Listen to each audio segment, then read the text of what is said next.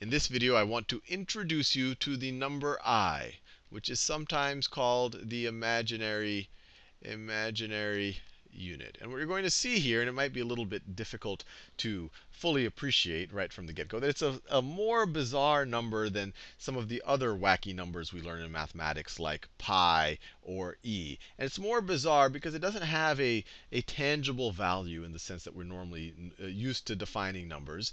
i is defined as the number whose square is equal to negative 1. This is the definition. This is the definition of i. And it leads to all sorts of interesting things. Now, some places you will see i defined this way i as being equal to the principal square root of negative 1.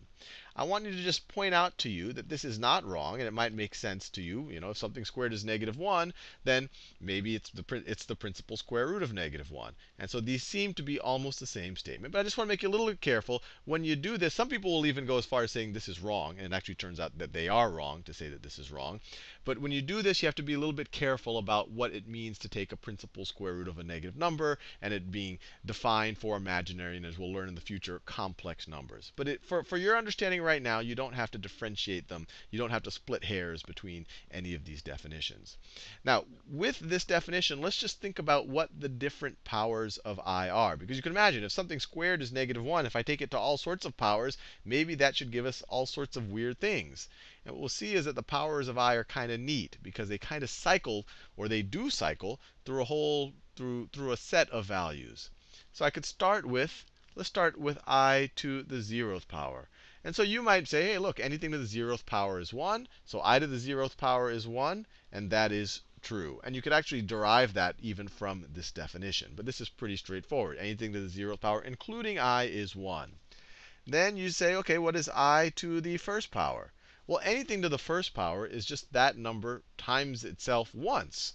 So that's just going to be i, really by the definition of what it means to take an exponent. So that completely makes sense.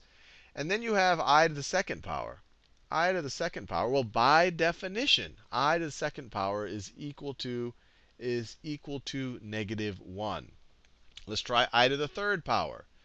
I'll do this in a color I haven't used. i to the third power. i to the third power. Well, that's going to be that's going to be i to the second power times i.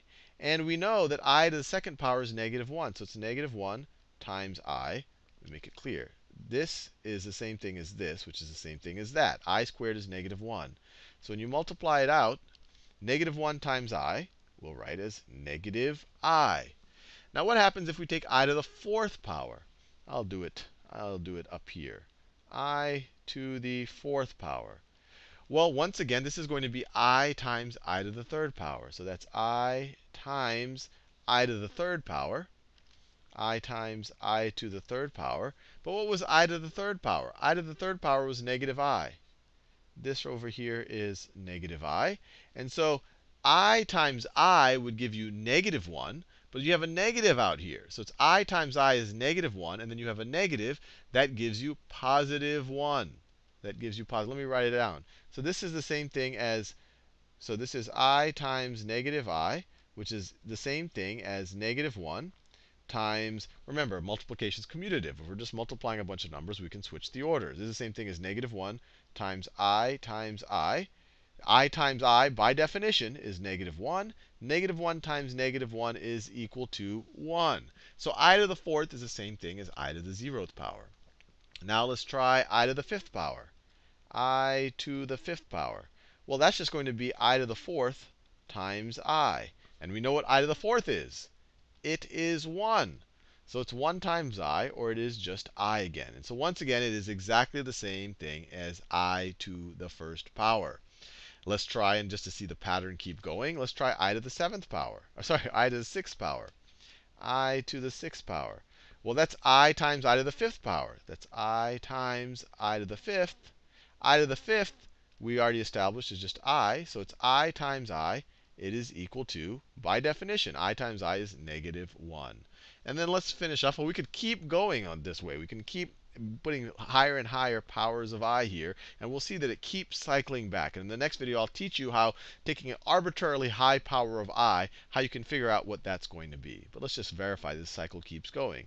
i to the i to the seventh power is equal to i times i to the sixth power. i to the sixth power is negative 1. i times negative 1 is negative i. And if you take i to the eighth, once again it'll be 1. i to the ninth will be i again, so on and so forth.